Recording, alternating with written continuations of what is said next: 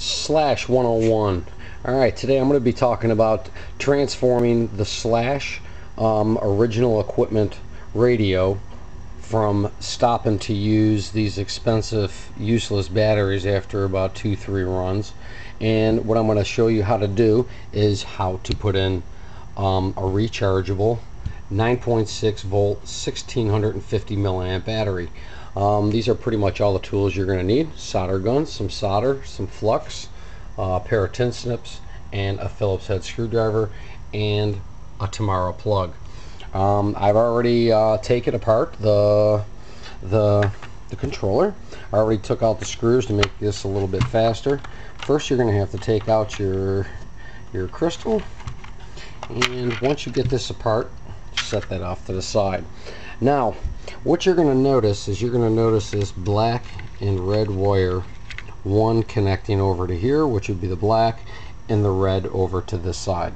Now what you're going to want to do is you're going to want to disconnect them from these little prongs. These little prongs pretty much just slide right out. You want to want to take them all out. Take every one of them out. The ones on the ends, on these two ends, are going to be stationary because they're soldered in. So heat up your uh, your solder iron, just loosen up the, the solder, and it'll pull right out.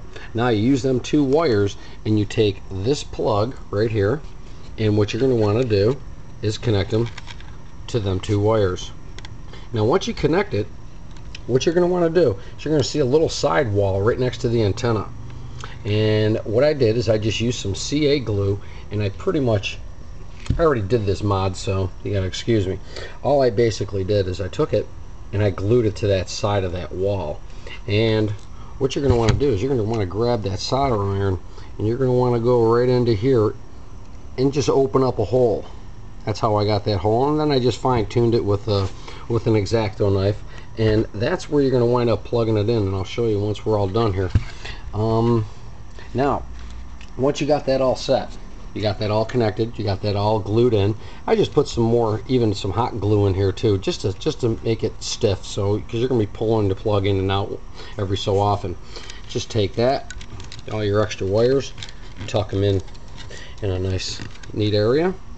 And then what you're going to want to do is on the back side of the other side you're going to notice these two little grooves right here. There's one on the other side.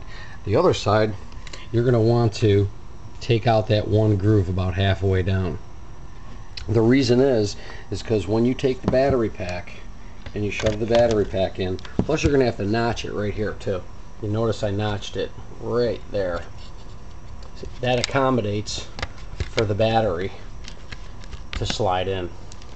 Now once it's slid in, you can take it and tuck the wire down in. Now once the wire is tucked in, and then on the side, I just made a little notch as well. And just bring it right outside that notch. Okay? Now, I'm going to put it all back together here and that's the reason for you have to do that notch right there in that case right here you have to sort of kind of just break that off a little bit so when it slides down over it it'll all snap right back together. Okay. We get this try and do this all with one hand here.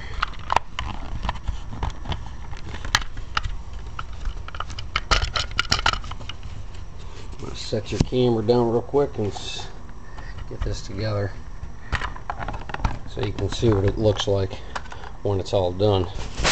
And that's pretty much what you're going to wind up with batteries fits perfect in there. And then what you're to do is you're to take it and you're to want to take it and plug it right into that little slot.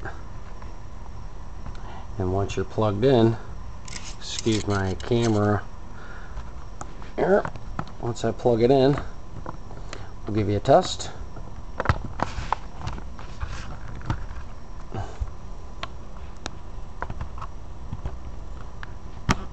there you go. There you go. There's a light. Full charged and a full charge it's uh, roughly one 9.6 uh, roughly it goes up to about almost almost 12 volts once I put it on the Venom charger. And I get a lot more runtime out of it. And you could just shove the extra wire back in you know if you don't want it hanging out too much.